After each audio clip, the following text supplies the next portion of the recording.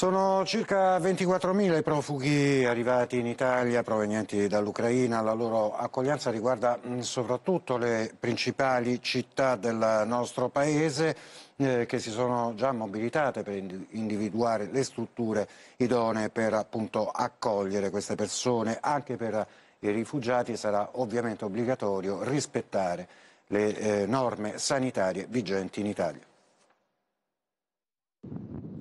Gli arrivi proseguono senza sosta. Ogni giorno migliaia di persone in fuga dall'Ucraina raggiungono l'Italia. La via di transito principale resta il confine friulano rivolto a nord-est. Le grandi città come Roma, Milano, Napoli e Bologna sono le principali destinazioni. Per i profughi le porte sono aperte, ha ribadito il Premier Draghi. Dovranno però sottoporsi alle norme di tutela sanitaria anti-Covid in vigore nel nostro Paese. Molti non sono vaccinati, dovranno accettare di farlo, altrimenti per loro sarà necessario effettuare un tampone ogni 48 ore. Finora i 24.000 rifugiati già censiti, al 90% donne e bambini, in entrata ad un ritmo di circa 3.000 al giorno, si sono rivolti soprattutto alla rete di parenti e conoscenti della comunità ucraina. Governo, regioni e gli altri enti territoriali proseguono il confronto sui piani di accoglienza che comporteranno anche l'utilizzo di strutture pubbliche.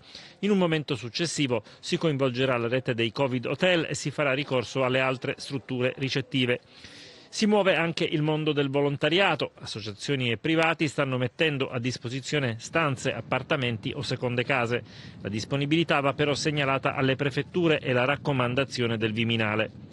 Bisogna attrezzarsi per accogliere sicuramente decine di migliaia o qualche centinaio di migliaia di rifugiati, preparandosi in maniera modulare, ha detto il capo della protezione civile Curcio, in Romania per l'arrivo del primo convoglio di aiuti umanitari destinati alla popolazione in uscita dall'Ucraina, inviati dall'Italia. Materiale sanitario per allestire ospedali da campo e medicinali consegnato presso uno dei principali hub europei per lo smistamento.